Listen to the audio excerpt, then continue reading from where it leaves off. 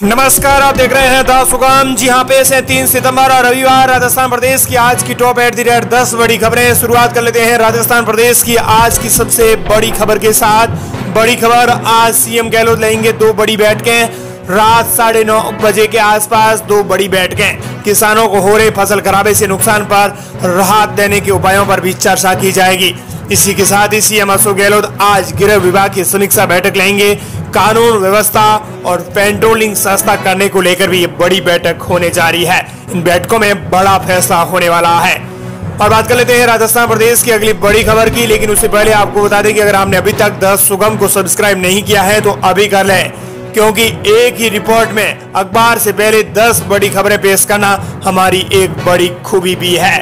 राजस्थान के कोने कोने से जुड़ी हम आपको बड़ी खबर के माध्यम से अपडेट करवा रहे हैं। ऐसे में अगर आपने अभी तक द सुगम को सब्सक्राइब नहीं किया है तो अभी कर लें। और बात कर लेते हैं राजस्थान प्रदेश की अगली बड़ी खबर की। सबसे बड़ी खबर आ रही है। सीकर में धीरेन्द्र शास्त्री पहुँचे, शुरू हुआ रोड शो। पाँच घंटे लग रहा है धीरेन्द्र शास्त्री का दरबार। भक्तों की पर्सियाँ निकाल रहे हैं। बागेश्वर धाम सरकार के पिटासीधर धाम धीरेन्द्र शास्त्री का शनिवार को सीकर में रोड शो हुआ।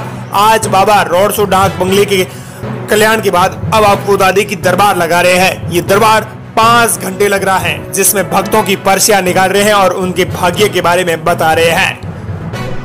राजस्थान प्रदेश के लिए बड़ी खबर। मुख्यमंत्री गहलोत को मिला हाईकोर्ट का नोटिस। वकीलों के जजमेंट लिखने वाले बयान पर मांगा जवाब। किस आधार पर दिया है बयान? भ्रष्टाचार का आरोप लगाने पर हाईकोर्ट ने शनिवार को सीएम गहलोत को नोटिस जारी कर दिया है। हाईकोर्ट ने जवाब मांगा है कि उन्होंने किस आधार पर ये बयान दिए हैं। वकील शिव शरण गुप्ता की जनहित याचिका पर हाईकोर्ट ने नोटिस जारी किया है। गहलोत के बयान के बाद शुक्रवार को उनके खिलाफ पीआईएल दायर कर जल्द ही सुनवाई का आग्रह किया गया था। हाईकोर्ट ने गहलोत से अदालतों में भ्रष्टाचार और वकीलों के जजमेंट लिखने लाने के बयान का आधार पूछ लिया है। राजस्थान प्रदेश की अगली बड़ी खबर, राजस्थान का मानसून अपडेट, राजस्थान में झुलसाने लगी गर्मी चालीस डिग्री तक पहुँचा पारा।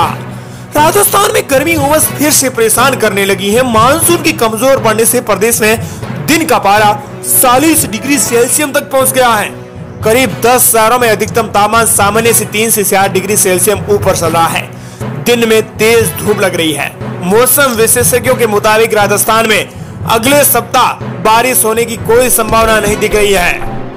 वही राजस्थान प्रदेश के लिए बड़ी खबर, सीएम का स्वागत करने पहुँचे पूर्व मंत्री राजेंद्र गुड्डा, लाल डायरी वाले बाबू। लाल डायरी को लेकर राज्य सरकार को कट घरे में खड़ा करने वाले पूर्व मंत्री और उदयपुर वाटी विधायक राजेंद्र गुड्डा शनिवार को अचानक नीम का थाना में मुख्यमंत्री अशोक गहलोत की सभा में पहुँचे। मंच पर पहुंचकर उन्होंने स्थानीय विधायक सुरेश मोदी का अभिवादन किया। मुख्यमंत्री के कार्यक्रम में बदलाव के कारण गहलोत वहाँ नहीं पहुँचे थे। बोले, मैं कांग्रेस का विधायक हूँ, इसीलिए मैं गहलोत का स्वागत करने आया हूँ। वही राजस्थान प्रदेश के लिए बड़ी खबर राजस्थान में 20 ठिकानों पर ईडी का सापा 2.5 करोड़ कैश मिले, एक किलो सोना और दस्तावेज़ भी जब्त किए गए। राजस्थान में विधानसभा चुनाव से पहले ईडी एक्टिव मोड पर है। जल जीवन मिशन घोटाले में ईडी की टीमों ने राजस्थान, गुजरात और दिल्ली में एक साथ छापेमारी की है। राजस्थान में ईडी की टीमों ने 20 जगहों पर छापेमारी किए हैं। इस छापेमारों के दौरान जल जीवन मिशन से जुड़े ठेकेदारों, अफसरों और पूर्व अधिकारियों और दलालों के यहाँ छापे मारे गए हैं। इसी दौरान ईडी की टीम ने 2.5 करोड़ कैश, एक किलो सोने के साथ कई डॉक्यूमेंट भी जब्त कर लिए हैं। वहीं राजस्थान प्रदेश की अगली बड़ी खबर नींव तक घुमाई गई महिला से सीएम गहलोत ने की बात 10 लाख मुआवजा और सरकारी देने की, नौकरी देने की बड़ी घोषणा। राजस्थान के प्रतापगढ़ ज़िले के धरियावाद में नींव स्तर घुमाई गई महिला से मुख्यमंत्री अशोक गहलोत ने फ़ोन पर बातचीत की है। इसी दौरान पीड़िता के माता पिता भी साथ थे। सीएम ने पीड़िता को 10 लाख रुपए मुआवजा और सरकारी नौकरी देने की घोषणा की है। इस घटना पर मुख्यमंत्री गहलोत ने कहा कि सभी समाज में इस तरह के अपराधियों की कोई जगह नहीं है। महिला ने देर रात पुलिस में शिकायत की है। इसके बाद एफआईआर दर्ज की गई है। इसमें दस लोगों के नाम है। पुलिस ने अब तक सात लोगों को गिरफ़्तार कर लिया है। मुख्यमंत्री ने इस घटना को बहुत दुख घटना बताया है। उन्होंने पुलिस महानिदेशक एडीसी क्राइम को भी निर्देश दिए हैं। वही राजस्थान प्रदेश के लिए बड़ी खबर सीकर में धीरेन्द्र शास्त्री बोले, मंदिरों में भीड़ और सड़कों पर तूफ़ान सही है।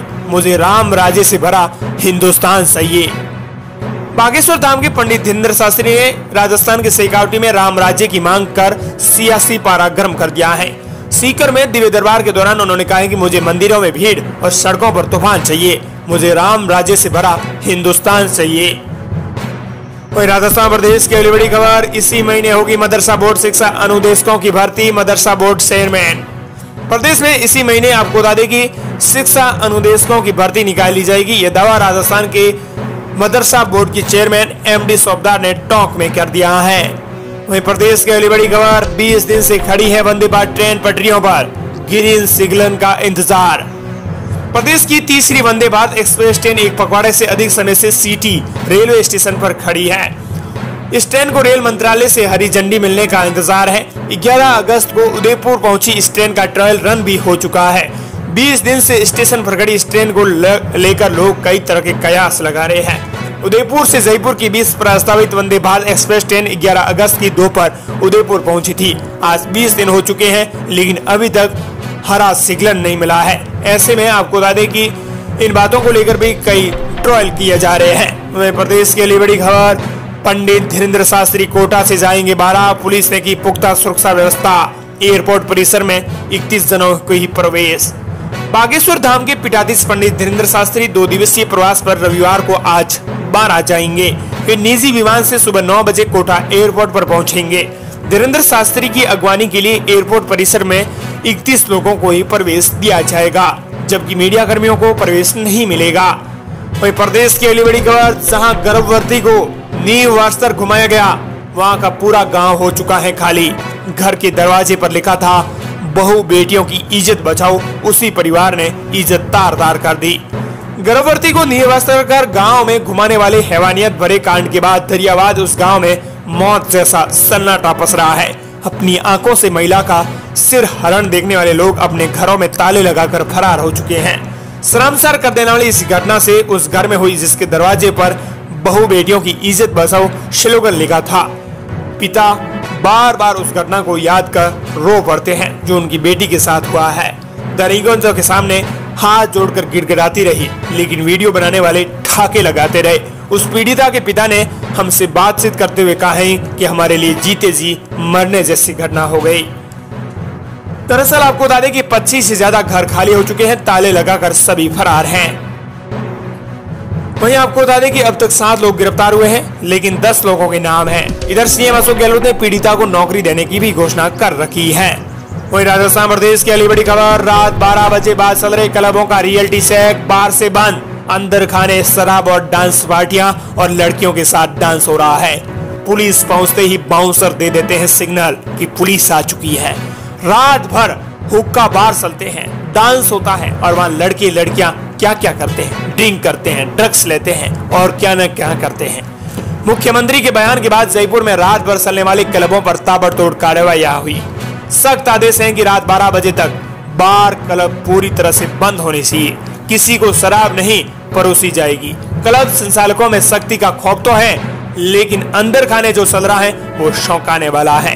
क्योंकि आपको बता दें कि बाहर से ये जानकारी मिल जाती है कि पुलिस आ रही है। उससे पहले ही उन लोगों को गायब कर दिया जाता है।